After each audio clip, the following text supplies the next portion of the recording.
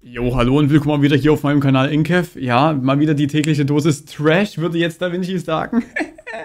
äh, nee, pass auf, äh, es geht weiter, ja, mit dem Storytelling von Aline Bachmann derzeit. Ne? Wir hatten das letzte Mal das angeguckt, irgendwas mit den Pferden und so, dann mal irgendwas mit einem Livestream, wo sie da aufgelöst war. Jetzt hat Drama Detective noch einen zweiten Teil rausgehauen, mit, dass die Pferde irgendwie Hilfe brauchen und so. Also jetzt bin ich auf jeden Fall aber ganz, ganz gespannt. Und äh, ja, mal, mal schauen, was da so passiert. Meine Katze ist auch schon ganz gespannt, ne? Die, die chillt hier auch. Mali, was sagst du dazu? Genau, das sage ich auch dazu. Ich würde sagen, wir gucken uns das jetzt einfach mal an. Ähm, mal schauen, inwiefern die Hilfe brauchen. Von Drama Detective, ja, gönnt euch das Video auch selber. Der Link dazu ist oben in der Beschreibung. Und äh, gibt den Rack ja, Kuss. Hi Detectives. By the way, auch danke für den Support hier auf meinem Kanal. Das ist echt insane, ohne Scheiß. Der Support hier war noch nie so groß. Also ein dickes Dankeschön dafür. Schreibt mal eine 175 in die Kommentare, wenn ihr bisher geschaut habt, weil dann, dann seid ihr Ehrenmänner. Und, und willkommen zurück auf meinem Kanal zu einer neuen Episode von Drama Detective. Und heute geht es nochmal um das Thema Aline Bachmann und auch speziell um die Pferde. Das Thema lässt mich tatsächlich nicht los. Ich mache mir echt Gedanken um diese Pferde und ich frage mich die ganze Zeit, wie man helfen könnte, falls jemand wirklich noch eine explizite Intervention weiß, bitte lass es mich wissen, weil das Thema beschäftigt mich sehr und ähm, ihr werdet gleich auch noch sehen, was jetzt schon wieder los ist und ich kann es einfach nicht glauben, wie rücksichtslos mit diesen Lebewesen umgegangen wird. Eine andere Sache, die ich so super oft jetzt immer zugeschickt bekomme und darüber Bescheid weiß, ich werde es jetzt einfach nur einmal kurz erwähnen, dass ihr wisst, dass ich es weiß. ähm, Aline Bachmann versucht ja gerade zu rebranden. Und zwar unter dem Namen Shinaila oder irgendwie so. Yo, das ist das, was ich mich das letzte Mal gefragt habe. Warum sie Shinaila hier heißt auf Insta. Wo war denn das? Insta, nee, nicht Instagram. Wo war das? Irgendwas mit Shinaila? Dann habe ich das gefragt und ihr absoluten Ehrenmenschen, ja, habt dann äh, übel viel geschrieben. Ey, hier, pass auf, das sagt da und da, wegen, äh, die hat damals so Lieder gemacht und äh, da, oder die, die möchte Lieder machen oder hat damals Lieder gemacht und da hat die äh, den Künstlernamen Shinaila gehabt und sowas. Also absolut krass, was da auf Informationen rauskam, ne? Also dickes Dankeschön. Ihr, ihr macht da auch richtig mit. Dafür, dass es so mein Reaction-Kanal ist, ist das richtig krass gewesen. Ähm, deswegen Kuss geht raus, wirklich. Also viele haben das geschrieben, also viele haben geschrieben, ey, auch das mit den Pferden, ähm, das braucht so und so lange, bis man die ungefähr ausgebildet hat und äh, man, man darf die aber, also vier Wochen ist viel zu kurz und äh, ja, also mir wurde da vieles noch äh, zugetragen, fand ich sehr, sehr cool von Leuten, die auch Ahnung haben mit Pferden. Also absolute Ehre, ja, für die Interaktion äh, macht richtig Bock und da bin ich auch so ein bisschen im Thema drin. Was dann auch bedeutet, dass ich eventuell auch mal wieder ein Videothema habe ähm, zu dieser Thematik, ja, weil das mit den Pferden, ich finde es auch, wenn es um Tiere geht, ich, ich weiß nicht, irgendwie macht es mich umso trauriger, wenn, wenn Tiere Schaden erleiden, äh, weil jemand zu inkompetent ist, so ein Tier zu halten. Keine Ahnung, ich weiß nicht, ob Silvia Wolny vielleicht ihr neuer PR-Manager ist oder so. Keine Ahnung, wie sie auf den Namen gekommen ist. Auf jeden Fall ähm, nennt sie sich jetzt auf TikTok irgendwie auch Shinaila offiziell. Wenn wir schon beim Thema TikTok sind, by the way, folgt mir gerne auf TikTok. Sie ist dort auf jeden Fall ständig live, hat den neuen Namen. Ähm, ja, ihr schickt mir auch immer wieder Livestream-Ausschnitte zu, wie sie wirklich dort jetzt die Leute äh, in Lives mit denen zusammen irgendwie live geht und auch dort irgendwelche TikToker kennenlernt und halt vollkommen verzerrte Darstellungen der Ereignisse präsentiert. Ähm, es ist auf jeden Fall sehr interessant anzuschauen. Aber so viel dazu, sprechen wir lieber mal über die Pferde, weil darum geht es mir. Mhm. Also, ich habe mit euch darüber gesprochen, dass sie ja diese drei Pferde hat ähm, und zwei davon 100% nicht beritten werden dürfen dürfen, nicht nur können, sondern auch unter der Angabe, dass sie nicht beritten werden dürfen, verkauft wurden ehemalig. Jemand hatte mir jetzt erzählt, dass die Leute, die Aline Bachmann in Friesen verkauft haben, anscheinend Fans von Aline Bachmann sind, was einiges erklären würde. ähm, aber da muss ich auch Alter, als ob es Menschen gibt, die sich als Fans, als, als ob es Fans von Aline Bachmann gibt. Ey, geht das überhaupt? Ist das möglich?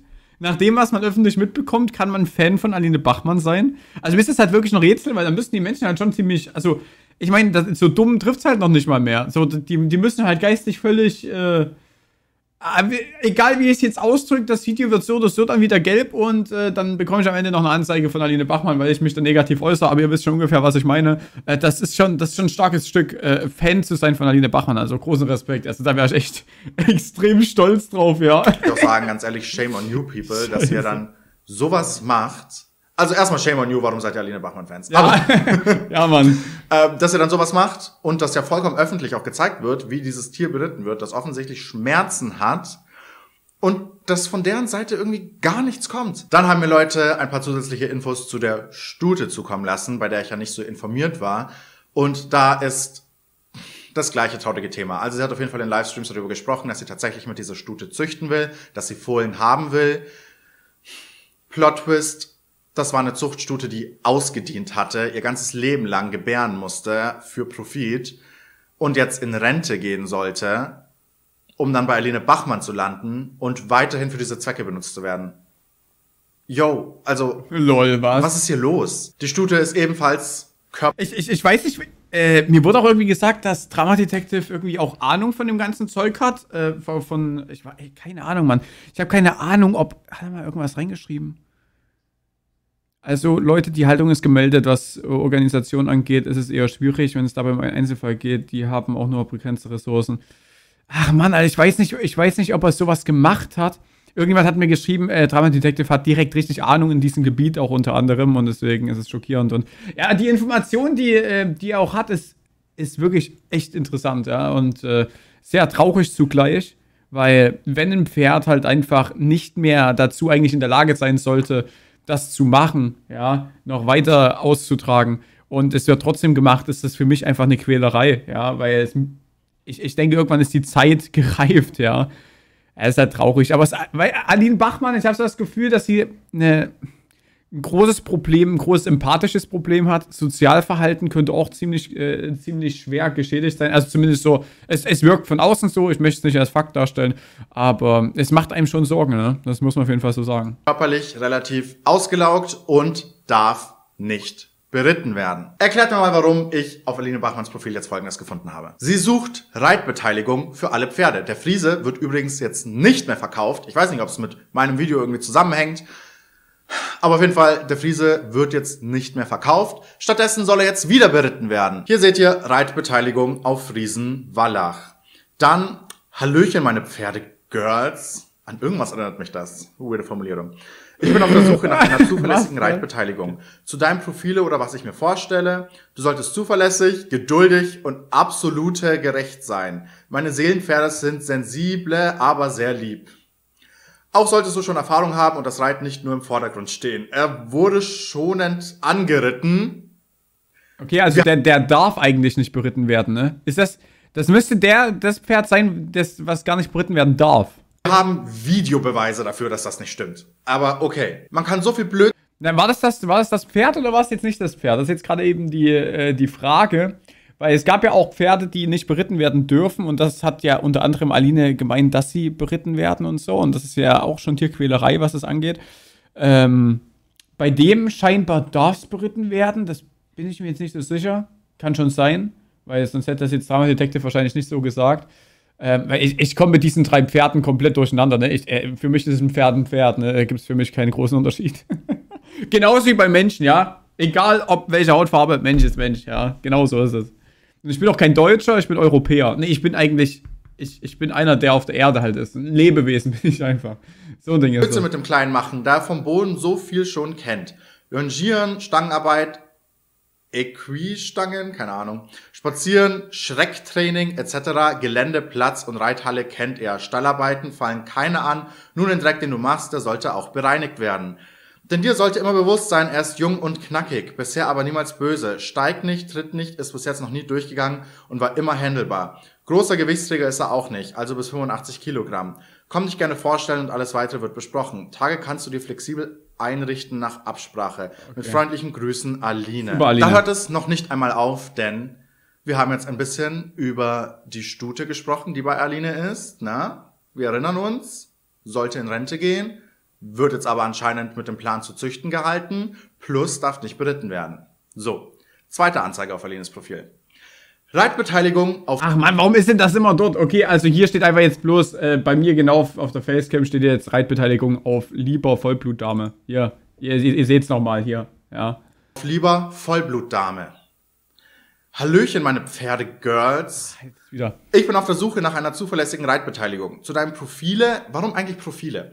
Oder was ich mir vorstelle, du solltest zuverlässig, geduldig und absolute gerecht sein. Meine Seelenpferde sind, sind sensible, aber sehr lieb. Longieren, Stangarbeit, Equistangen, keine Ahnung, Spazieren, Strecktraining etc., Geländeplatz und Reithalle kennt sie. Tage kannst du dir flexibel einrichten nach Absprache. Mit freundlichen Grüßen, Aline. Oh mein Gott, die hat nicht mal einen eigenen Text bekommen. Die hat einfach nur Sachen aus dem Text vom Friesen genommen und da wieder mit reingepostet. Dasselbe auch bei dem anderen Vollblut, das anscheinend beritten werden darf. Da versuche ich aber noch mehr Infos rauszufinden. Okay, also der Rest darf eigentlich nicht beritten werden. Aber sie hat sie beritten sozusagen. Was eigentlich nicht. Äh ich weiß nicht, inwiefern das, inwiefern man da Strafen bekommt, aber ich denke schon, das zählt ja wahrscheinlich schon unter Tierquälerei, wenn, wenn die das, wenn die eigentlich nicht dafür gemacht sind. Ja. Mhm. Ähm, aber da wird auch wieder eine Reitbeteiligung gesucht. Da hat sie auch wieder einfach nur Textbausteine aus dem anderen Kasten genommen und eingefügt. Ähm, jetzt weiß ich, woran mich Hallöchen meine Pferdegirls erinnert. Kennt ihr diese eine Frau, die in dieser komischen Urinhabehandlungsgruppe, ja, sowas gibt's. Anscheinend machen das Leute wirklich, sich einfach ihren in die Haare zu schmieren und das dann nicht mal auszuwaschen. Ähm, und die hat auch diesen Post mal gemacht, so Hello my fuck? Urine Angels. Oh mein Gott, daran muss ich denken. By the way, hat das bei mir einen ziemlichen Schock ausgelöst, äh, den Post gesehen äh, wo, zu haben. Wo, woher, woher, woher weiß äh, Drama Detective sowas? Also, Jetzt langsam mache ich mir echt Gedanken, ne? Das, ist, das klingt gar nicht gut. Und zu erfahren, dass Leute das wirklich machen und dann nicht auswaschen. Weswegen ich entschieden habe, in meinem ganzen Leben nur noch Menschen zu umarmen, die entweder so klein sind, dass ihr Kopf mich nicht berühren kann, oder so groß sind, das dürften dann die wenigsten sein bei 1,88 Körpergröße, ähm, dass ihr Kopf mich nicht berührt. Weil What the actual disgustingness. Eine Sache, die jetzt mit dem ganzen Rest nichts zu tun hat, aber die ich irgendwie ein bisschen witzig finde, ist, die äh, Zufriedenheit bei eBay Kleinanzeigen, äh, was Aline angeht, ist bei naja. Es beschreibt die ganze Situation echt. Naja, eigentlich nicht annähernd schlimm genug. Also Leute, so viel dazu. Jetzt soll der Friese ah, also ja. nicht mehr verkauft werden. Wisst ihr, viel schlimmer hätte sie ihn wahrscheinlich nicht treffen können. Es wäre am Ende vielleicht besser gewesen, wenn er verkauft worden wäre. Aber wer weiß, was er am Ende mit dem Geld gemacht hätte. Sich das nächste Pferd angeschafft. Keine Ahnung. Also, wir haben hier Pferde, die so gehalten werden, wie sie überhaupt nicht gehalten werden dürfen. Da gibt's ja dann gar keinen Diskussionsspielraum mehr. Da ist es jetzt nicht irgendwie die Frage, finden wir das moralisch gut, was mit Pferden gemacht wird, sondern hier ist explizit auch angegeben, Nein, einfach nein. Und okay, also es ist nicht eine subjektive Wahrnehmung, es ist ein faktisch, es ist faktisch nicht erlaubt, das so zu machen, wie es Aline macht. Sie macht sich damit wahrscheinlich halt wieder strafbar, genauso wie es sich überall strafbar macht, haut dann aber Anzeigen an andere YouTuber raus, äh, erhofft sich da irgendwas, aber das meiste wird fallen gelassen, weil Aline da halt mies reinscheißt. Boah, ich weiß nicht, wie man, wie man so eine Person sein kann. Was ich noch weniger weiß, ist, wie man Fan sein kann. Was ich noch weniger verstehe, ist, wie, wie kann man diese Person unterstützen? Ja, also die macht ja wirklich, das hast du alles mitbekommst. Ich denke, die ist auch auf einem ganz anderen Trip. Also irgendwie irgendeine Krankheit will die haben. Ähm, zumindest psychisch kann ich mir nur vorstellen, du, du kannst nicht so handeln, das geht eigentlich nicht. Ähm, irgendwas, irgendwas ist da falsch gelaufen. Also du kannst, also das ist wirklich mir ein großes Rätsel, auch als Zuschauer, auch als Fan von ihr. Da muss psychisch, also da, da ist der IQ kann fast nicht, ja, meines Erachtens nach kann er nicht äh, höher als 50 sein, um, um den Content sich da wirklich ernsthaft reinzuziehen, zu sagen, ey Alina, wirklich, du machst guten Content. Es ist ja wirklich so unangenehm, es ist so cringe einfach, dass es macht mich fertig sowas. Es macht ja. es trotzdem. Ich meine es auch vollkommen ernst. Bitte, wenn ihr irgendwie eine Form der Intervention kennt, dass man diesen Tieren helfen kann, sagt es mir, weil ich bin wirklich mit meinem Latein am Ende. Ich weiß es nicht. So, Veterinärämter sind sowieso immer so desinteressiert. Wenn man sie informiert, dann passiert irgendwie gefühlt nie was. Speziell, wenn es um sogenannte äh, Nutztiere geht. So, pff, interessiert den Scheißdreck. Die sind sowieso meistens mit irgendwelchen Schlachthöfen und Bauern und was weiß ich alles unter einer Decke. Mega schade, dass es ein Proforma-System gibt, das aber einfach nicht greift. Ähm, ja, und ich weiß langsam einfach nicht mehr weiter. Keine Ahnung. Kann man Peter anschreiben? Ich weiß es nicht. Also, falls ihr irgendwas wisst, schreibt mir das bitte. Und äh, vielleicht lässt sich diesen Tieren irgendwie helfen. Weil ich finde, das kann so nicht weitergehen. So. Okay, ja, also ist auf jeden Fall spannend, dass, äh, dass Aline hier schon wieder richtig reinscheißt, ne? Ich weiß nicht, was ich dazu sagen soll. Ich finde Aline bei jedem, ohne Scheiß, es kommt jeden Tag gefühlt ein Video zu Aline Bachmann online, ne? Ich persönlich habe mich da jetzt so eine Zeit lang rausgehalten, vielleicht mache ich auch irgendwann mal noch ein Video dazu, aber weil das alles so viel ist und sie bringt jeden Tag einen neuen Skandal, das müsst ihr euch mal überlegen. Also ganz großen Respekt wirklich an Aline Bachmann. Es musste erstmal schaffen, jeden Tag gefühlt einen neuen Skandal zu bringen. Also, also wirklich Big Props. Ähm, ja, weiß nicht, was ich dazu noch sagen soll. Es ist eine Schande, es ist ekelhaft und äh, mir fällt dazu halt auch nichts Positives ein. Ja, keine Ahnung, wie die halt noch Anhänger haben kann, aber das wird sich vielleicht irgendwann, irgendwann werde ich vielleicht dahinter steigen, ja, weshalb sie so beliebt ist bei einigen. Auf jeden Fall Dankeschön fürs Zuschauen, vielen Dank für den Support hier auf dem Kanal und äh, ja, lasst gerne ein Abo da und ja, checkt das Video von Drama Detective aus und dann sehen wir uns demnächst wieder. Kuss geht raus.